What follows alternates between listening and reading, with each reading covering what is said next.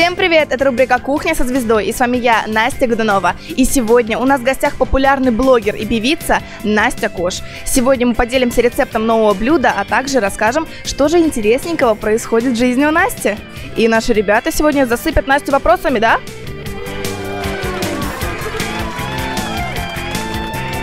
Настя, а у меня есть такой вопрос.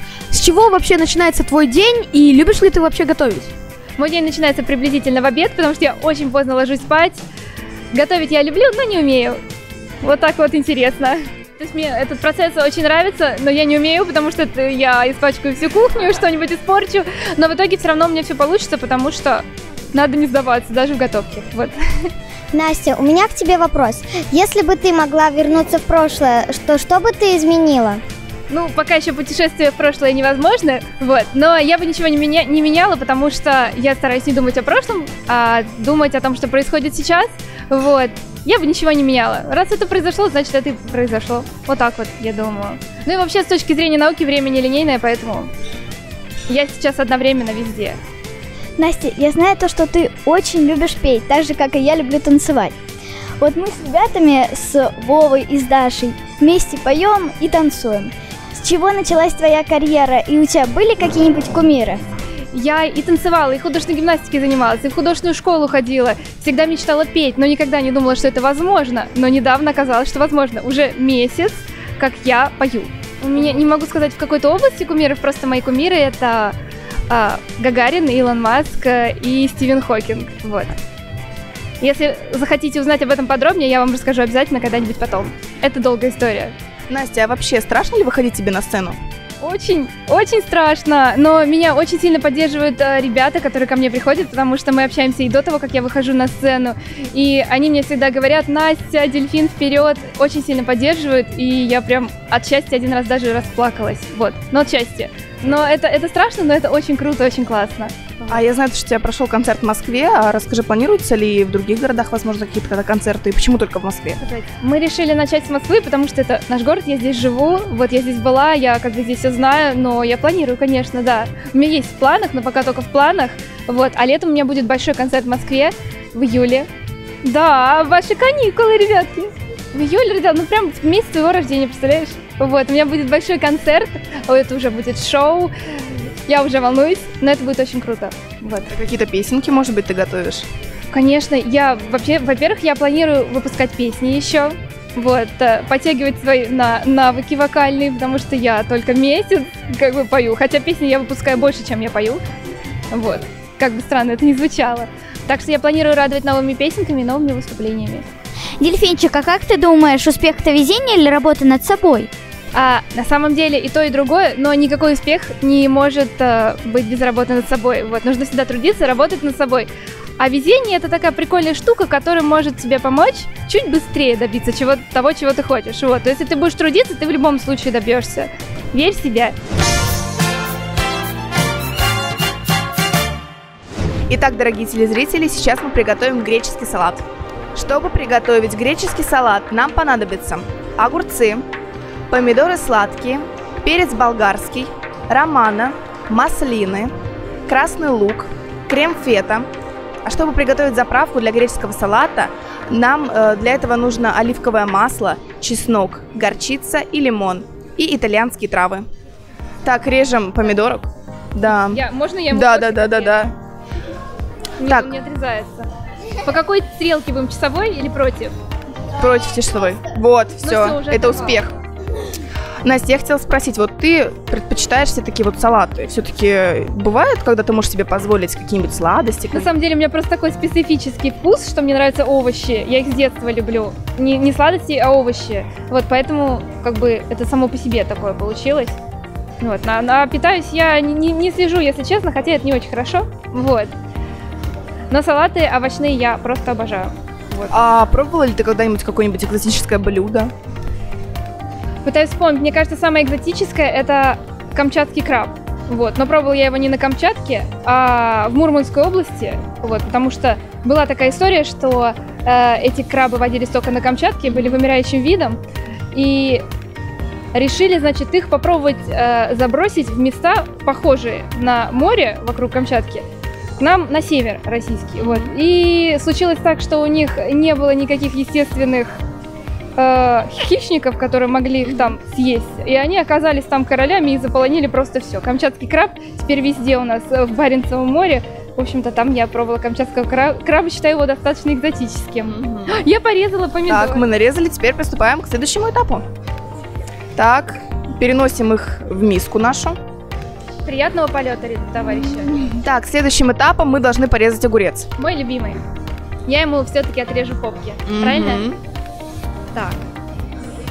Слушай, мы с тобой поговорили о крабах, о всех э, экзотических блюдах, но все-таки какое твое самое любимое блюдо? Я обожаю вот, вот кухню домашнюю. Моя мама что готовит, вот обожаю. Супы, котлеты, все самое вкусное у нее. А если из салатиков брать? Из салатиков я люблю свежеовощные салаты, э, чтобы были помидоры, сладкий лук, Мгм. огурцы, чтобы все это было полито каким-нибудь э, маслицем оливковым, но не горьким. Вот. Оказывается, оливковых масел очень-очень-очень много, нерафинированных, и в них нужно разбираться. И я совершенно не знаю, как выбрать, если их нельзя понюхать, попробовать. Вот, в Европе это можно в Испании сделать. Вот. А в Испании, кстати, ты же была в Испании. Да, Ты там что-нибудь такое необычное пробовала? необычного нет. Паэлья мне там нравится очень. А это что? Это, это такое блюдо, не знаю даже как сказать, из риса. Ну, наверное, это что-то типа плов, но с морепродуктами, если так это можно сказать. Вообще, если я где-то бываю, то я обожаю пробовать в путешествиях а, что-то что такое местное, интересное. Мой, мой остаток А, сюда, а вот сюда, кстати, мы уже вот сюда, да. Так, все. Давай его сюда как раз перекладывать. Успех! Так, вот. Все, в полет отправляем. Да.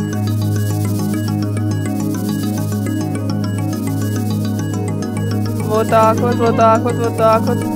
Все, есть. Теперь высыпаем фасольку, да. Вот так вот.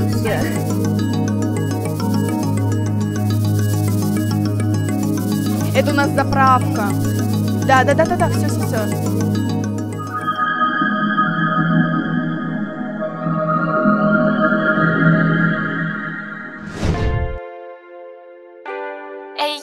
Новый год чек! Доброе утро, девочки. С Новым годом, девочки.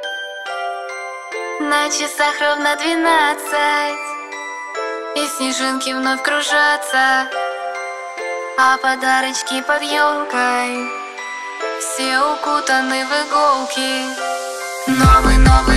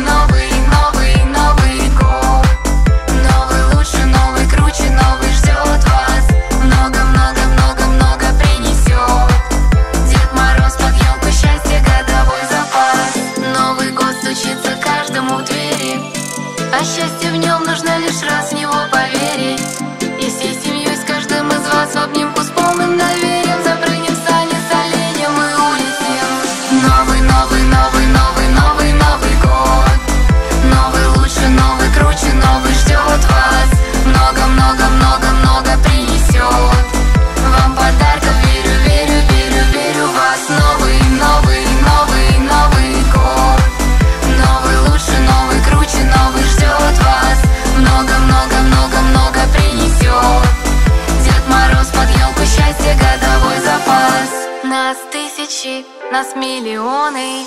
Горят огни, горят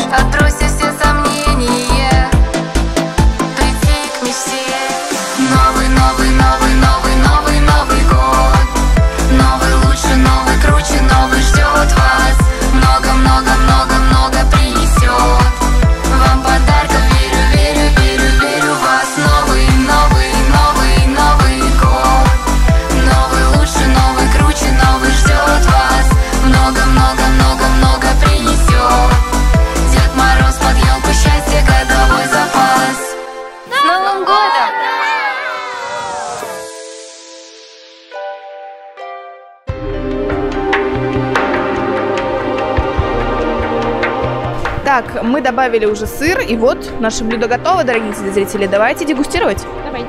Так. Смотри, тут у нас сыр, помидорки, лучок. Давай помидорку. Самое вкусное это помидорка. Так вот с сыром. Я сейчас... Дегустируем. Все дегустируют.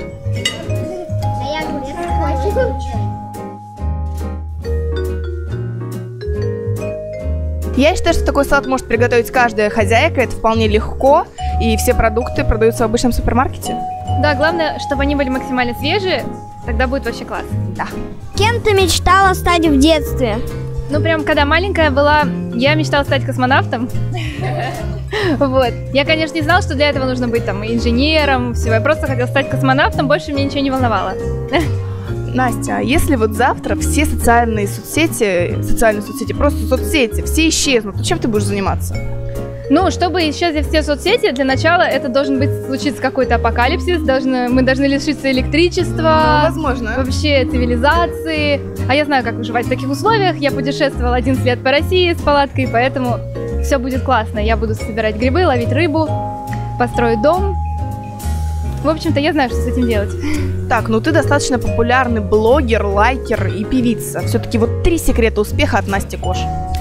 Много работать, делать то, что тебе нравится, и никогда не сдаваться. Настя, а у меня такой вопрос. Какие твои мечты и планы на будущее? В ближайшем будущем планирую выпустить еще много песен.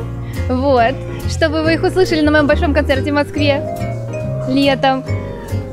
Но дальше я пока еще не заглядываю, потому что всякое может случиться. Вот. И я всегда придумываю что-нибудь интересное, новое. А мечты? Мечты? Мечты. Ну вот моя мечта пока, чтобы у нас у меня получился вот этот концерт. У меня много, очень-очень-очень-очень много. Я на Марс хочу полететь, не знаю. Вот мы вместе хотим с тобой в колонию первую, правильно? Настя, ни один наш гость не уходит без подарка, и поэтому сегодня вот в таком вот конвертике я хочу тебе вручить билет на Крейцерову сонату. Спасибо. Вот, и вот такой вот ангелочка из ручной работы, ручная работа от компании Ля Пальмы. Спасибо Вот большое. так вот специально для тебя делали. Это была рубрика «Кухня со звездой». С вами была я, Настя Годунова и Настя Кош. До новых встреч в эфире!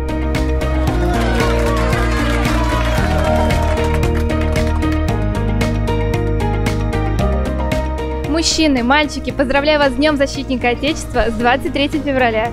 Подписывайтесь на канал до 17 и старше, пишите комментарии. Я обязательно буду в комментарии всех ждать.